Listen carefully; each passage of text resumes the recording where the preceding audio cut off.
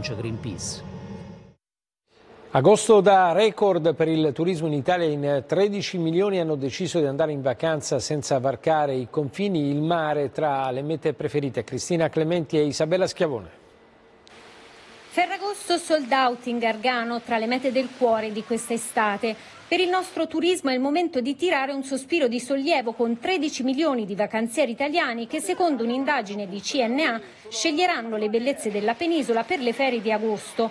3 milioni in più del 2019, anno pre-pandemia. Rimaniamo qui, stiamo bene qui, ci godiamo il nostro mare. Ed è cambiato che stiamo amando di più la nostra terra, i nostri prodotti e il nostro territorio. Ospiteremo anche 4 milioni di stranieri, presenza lontana dal passato ma comunque importante per dare ossigeno soprattutto alle città d'arte. Una stagione intensa ma più breve, rilevano gli albergatori. La fase turistica è sicuramente però più concentrata, è concentrata nei due mesi centrali della stagione estiva. Mare saldo in cima alle preferenze, seguito da montagna, terme, laghi e borghi. Bellezze naturali sì, ma anche la curiosità per nuove esperienze. È il nostro primo giorno, quindi dobbiamo scoprire un po' ancora tutto. Per un pizzico di dolce vita sono sbarcate nel nostro paese anche molte star globali.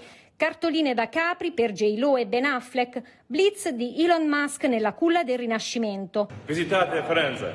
Ha scelto la Toscana anche Anthony Hopkins, più che un turista straniero, davvero uno di noi. Sono italiano!